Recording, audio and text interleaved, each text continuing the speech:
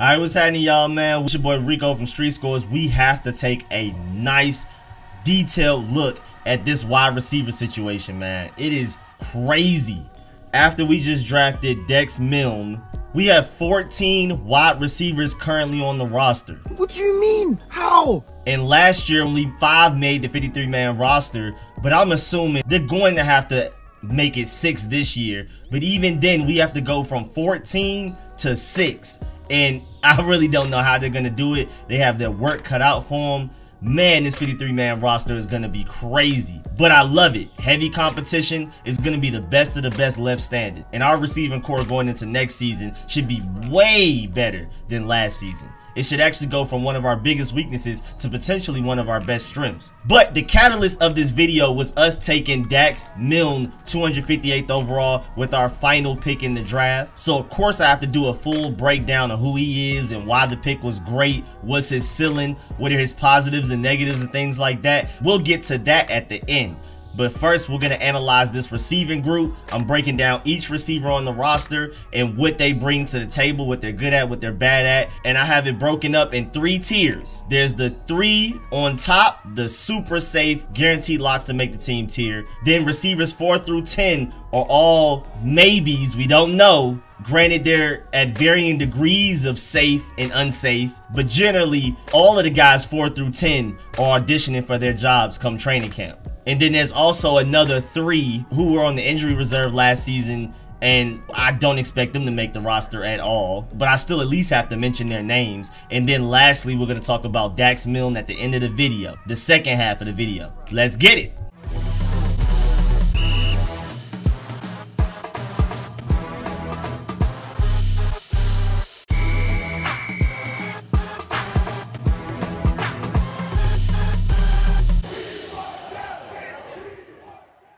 So first up, man, you already know what it is, man. Number one, Terry McLaurin, 2019 third round pick, still on his rookie contract. He is a number one receiver, the number one receiver on this team, but just in general, he's a number one receiver. He has elite speed. He has crazy contested catch ability, especially statistically. Just look at the advanced statistics and the numbers and the percentages. He's literally top five in the NFL at that. He's also one of the best route runners in the NFL. He's a great leader captain. He's a matchup nightmare. And on top of all of that, he's a great and willing blocker. I mean, that's one of the main reasons we drafted him because we felt like at the very least he can block very well. He's a passionate blocker and he can contribute in special teams as a gunner. Well, he turned out to be one of the best receivers we've ever had on our team in burgundy and gold history. So now he's not doing any of that special team stuff, but that still helps him and translates to him being a wide receiver on offense as well. Then number two, Curtis Samuel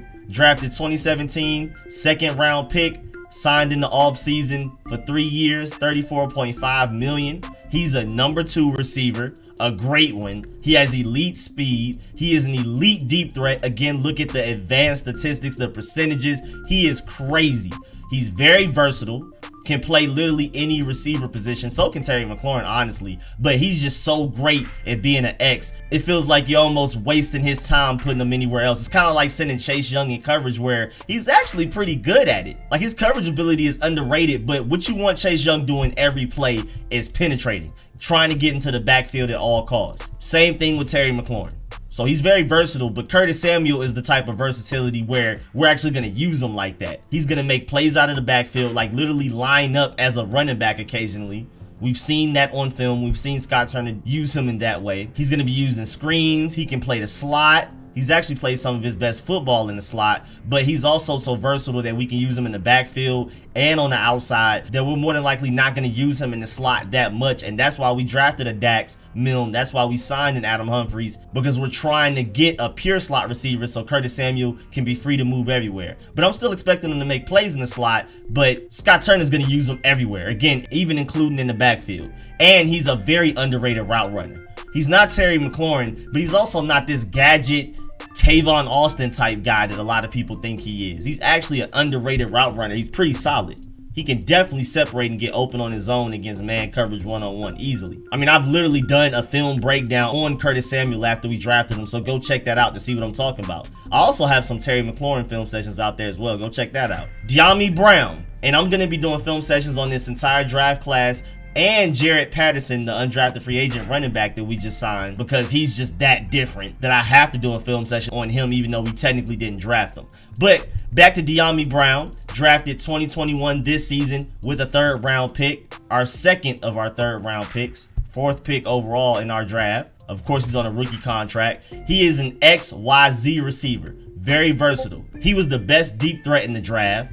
His athletic potential is actually way higher than his RAS reading says. Like he didn't test very well and he looks way faster and explosive and agile on tape than his tests indicate from his pro day. Definitely has a high ceiling. I mean, people are literally comparing him to Terry McLaurin and Stefon Diggs. And for different people to compare him to two different receivers who have very similar play styles, Stefon Diggs and Terry McLaurin, that means that those comps are actually make sense. It's not like they're comparing them to D-Hop and then Terry McLaurin or Odell Beckham and Mike Evans two completely different play styles. It's Terry McLaurin and Stefon Diggs who are honestly the closest comps to each other that you can probably give. And they're comparing Dyami Brown to that. He's very versatile, like I said. I mean, he can even make plays out of the backfield with his elite YAC ability. His route running is trending upwards. He even said it in his press conference after we drafted him. North Carolina's offense was stifling his development because they just didn't ask him to run a lot of routes. But the routes that he did run, he started to get better and better. And towards the end of this past season, he actually became a pretty good route runner. And he could still work on a few things, but even though he didn't run the entire route tree in college, there's nothing that really tells me he can't do it at the NFL level. So I'm expecting him to be one of the better route runners in the NFL as well. I definitely see that trending upwards. And he's also a great blocker as well. One of the best blocking receivers in this draft. So we're getting the best deep threat, one of the best blockers, and also potentially one of the most versatile and potentially one of the best route runners in this draft class in the third round. That's ridiculous. But as you see, all of these guys had gold backgrounds because they're tier one pretty much guaranteed to make this team. And I forgot to include this in the image, but Dyami Brown is also one of the best contested catch receivers in this class. Arguably the best. Out of 49 contested catch targets, he didn't drop a single one. Now he has some concentration drops where like it's just an easy catch and he drops those. But when it comes to contested catches, when you need somebody to make a play in the clutch, he's your guy. I mean, he may be the most dependable in that way out of anybody on our entire roster and potentially one of the best in the league. I mean, bro, 49 contested catch targets, not one drop. Like, come on, bro. Now we're to tier two with receivers four through 10, starting with Kelvin Harmon. 2019 sixth round pick, still in his rookie contract, of course. He's a possession receiver, red zone threat, probably has the best hands on this team. Kelvin Harmon, based on what he did the season that he was healthy, his rookie season 2019, you could say he probably has the best hands on this team. I mean, his one hand catches were ridiculous 2019. He's also a very aggressive blocker. I would like for him to improve some of his technique, but there's no reason that he shouldn't be as good of a blocker as Terry McLaurin and Dyami Brown, or maybe even better just based on his stature, his length, and his strength. But he just has to improve technique-wise to get there. But he's definitely a very aggressive and willing blocker. You can tell he relishes the opportunity to really just punish DBs when he's blocking them. Also, it's reported that he improved his route running right before he sustained that season-ending injury in the 2020 offseason. And that was his biggest concern. His inability to separate, his lack of route running. He's never going to be like a freak athlete, very explosive and things like that. He's just a big body, great contested catch guy. But if he's improved his route running, oh man, it's over with. Kelvin Harmon is easily the fourth best receiver on this roster if his route running is good. That was the main thing holding him back, his inability to separate. And then also, will he be able to bounce back from a season-ending injury? Like, first of all, is he even healthy enough to play? Is he healthy enough to even make the team? Will he fully recover? And even if he does recover, will he be what he used to be?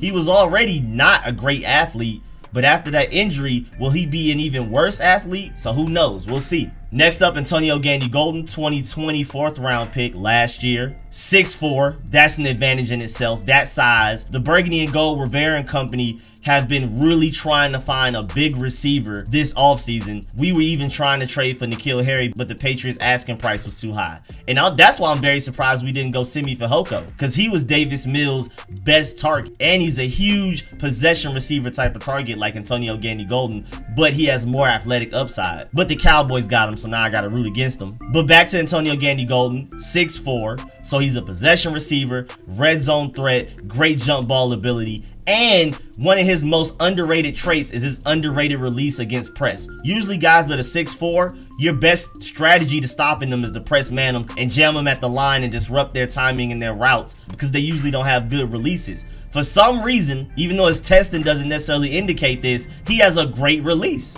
you can't press man him. So he's a mismatch nightmare if we're able to develop him. He's also a long strider. He's not fast, he's not very quick, but he does have good build-up speed. And then this season is technically going to be his rookie season because the very limited amount of times that we saw him last season, it wasn't enough to really gauge if he's going to be good or not. I mean, Scott Turner in that Browns game, the game he got hurt in, was even trying to force him the ball. He was like, bro, all right, this game, we got to see what we have in Antonio Gandy Golden. We got to see. Throwing them screens and everything, just forcing them touches. And I like that. Last year was an experimental season, like I told a lot of y'all before the season even happened. And I'm glad we took risk like that. We were just experimenting with players. We were experimenting with personnel groupings, schemes, play calling, everything. And we needed a sacrifice season like last year so that we can be better equipped Super Bowl contenders of the future. And one of the experiments we had was Scott Turner just throwing guys out there. I mean, even like we put Marcus Baugh on the practice squad to see what Temarion Hemingway could do.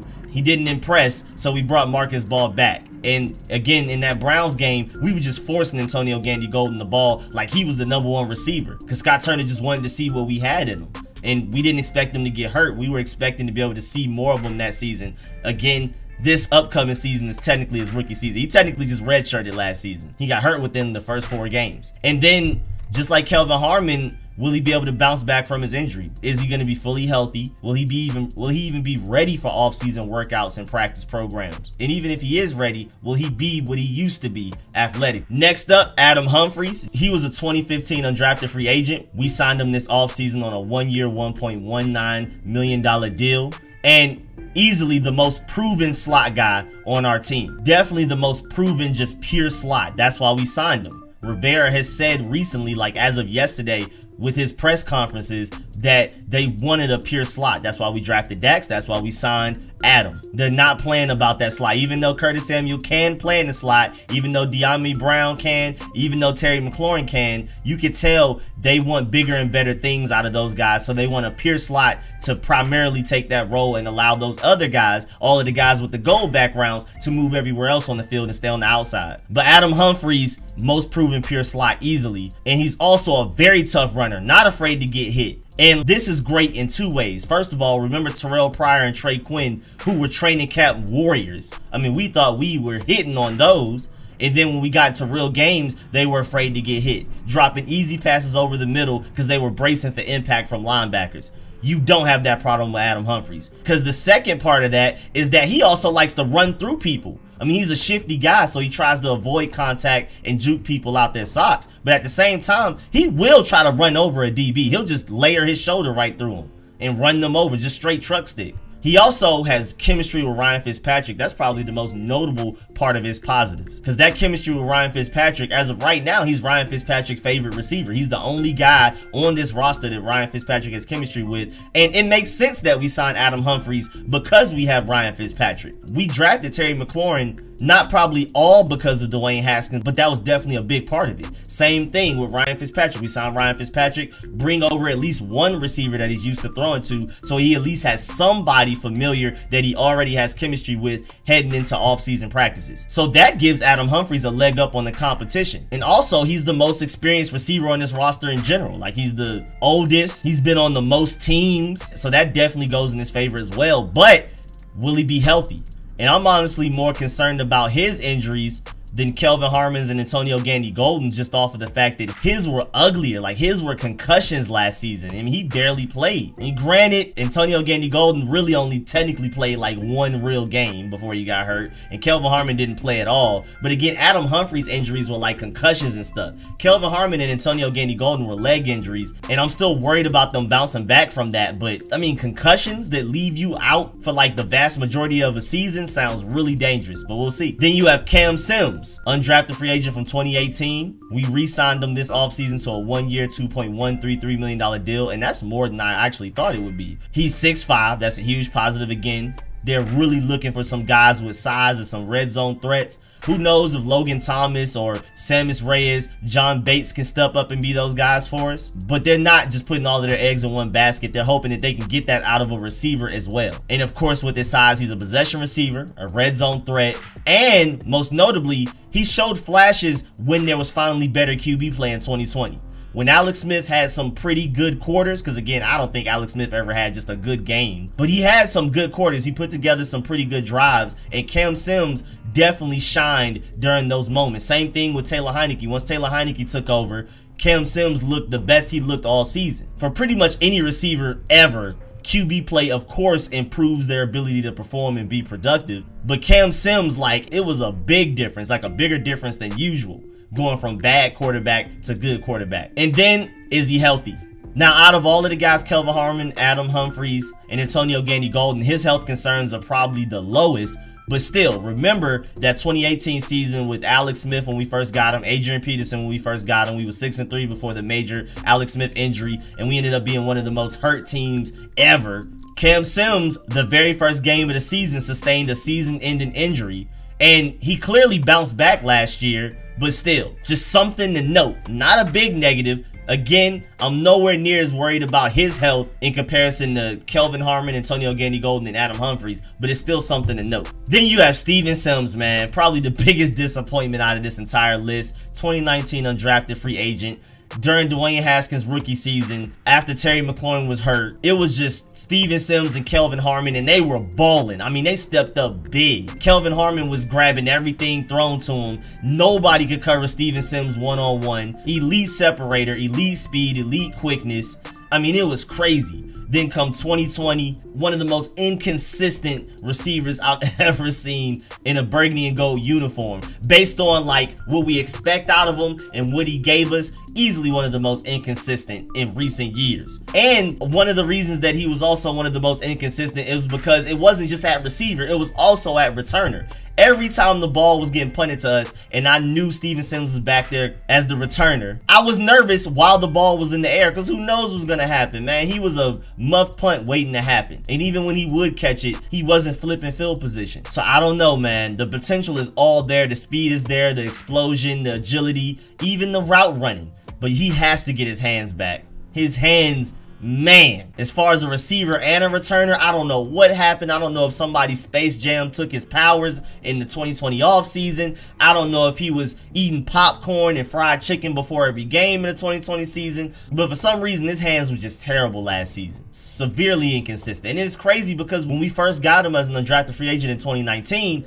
his hands were inconsistent in the beginning. And then his hands improved mightily by the time the season ended. And then for some reason coming back to 2020, Butterfingers, I don't know. So the biggest question, can he bounce back to his 2019 form? Because if he can, if we can get last four games of the 2019 season out of Steven Sims, he's our best slot receiver. And that's even including Dax Milne and Adam Humphries. He's at least the most explosive with the highest potential and the highest ceiling, but I just highly doubt he'll get back to that form because he was bad, not only just for like a couple of games last year, but just the entire season. It just looked like a completely different guy out there.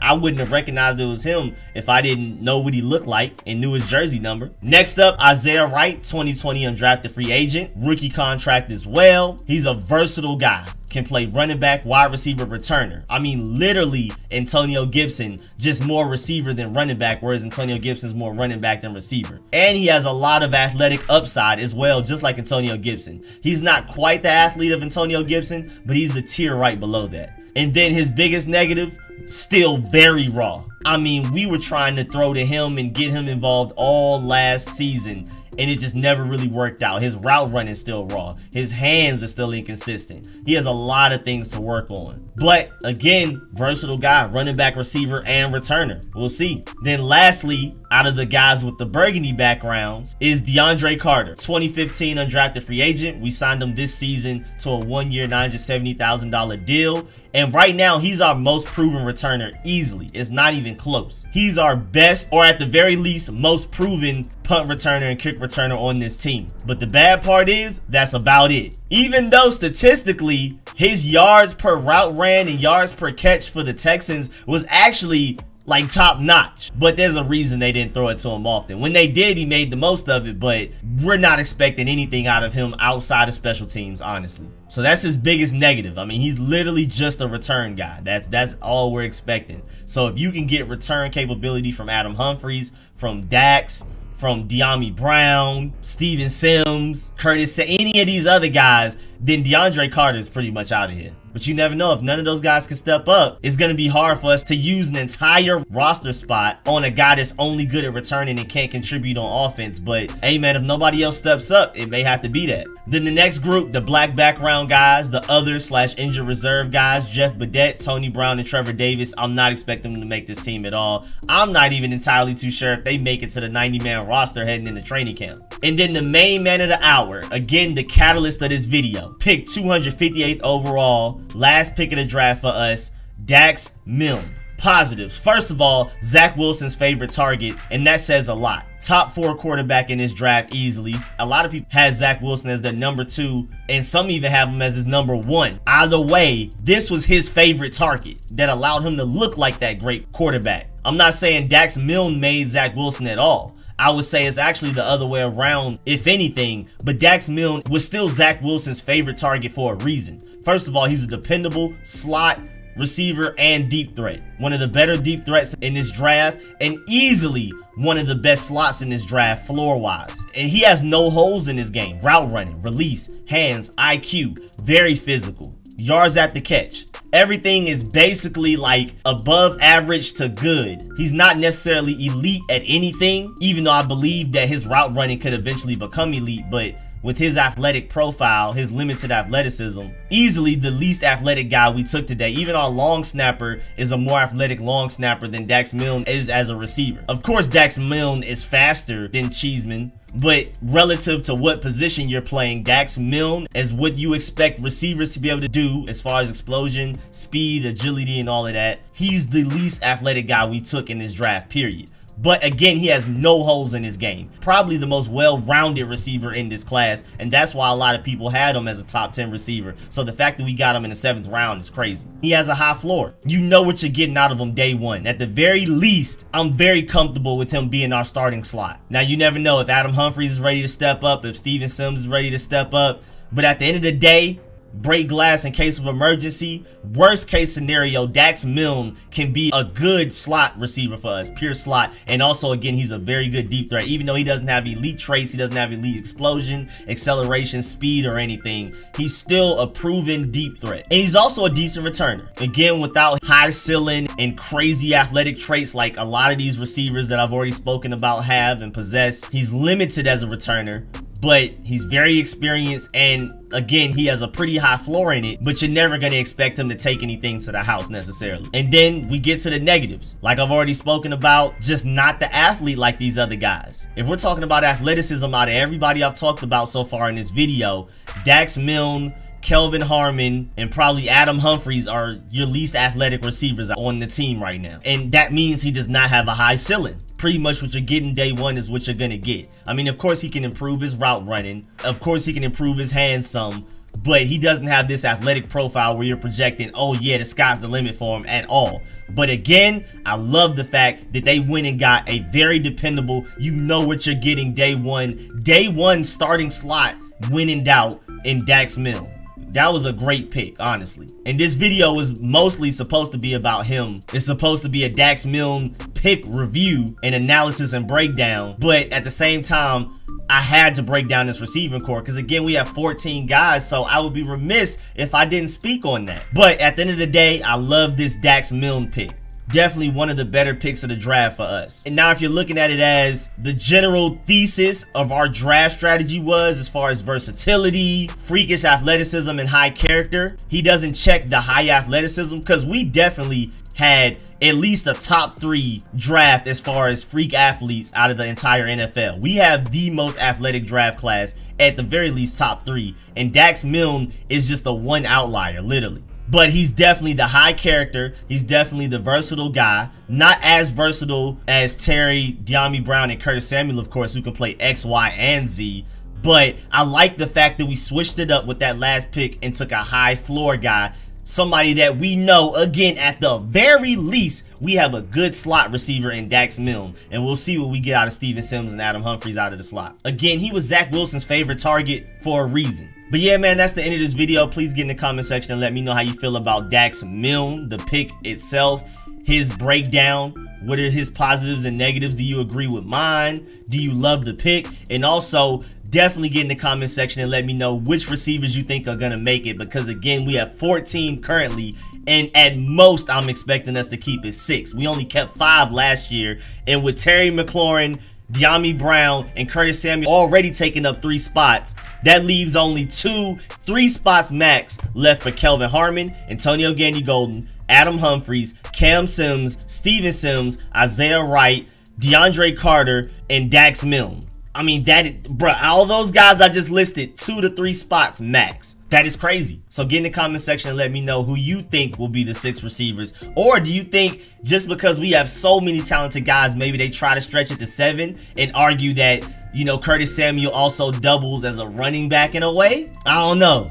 But definitely get in the comment section and let me know your thoughts on everything discussed in this video. Of course, please like this video if you liked it. If you learned anything, please subscribe if you haven't. Hit the bell next to the subscription button so you get a notification every time I release an informative and opinionated video like this one. I'm working on live streams for everybody in this draft class and including my boy Jaret Patterson, the undrafted free agent, who I feel like was honestly one of our best pickups this weekend. So stay tuned for all of that. Of course, the live streams will continue. I'm very busy today, so I may have to reschedule today's live stream to tomorrow, as in Monday, for us to do like a draft review. Because you know, every week I live stream Friday, 8 to 10 p.m. with Shay the Patriots fan, and every Sunday in the afternoon or evening for like two hours. But I may have to delay that till tomorrow. And of course, since it's after the draft, it's going to be more draft themed. And we can also take a look at some remaining free agents that we need to go get. So just stay tuned for all that. Again, hit the bell next to the subscription button so you get a notification as soon as I schedule the live stream and as soon as I start them up. And of course, man, I appreciate all of the support, man. This weekend was so great, man. All of the love,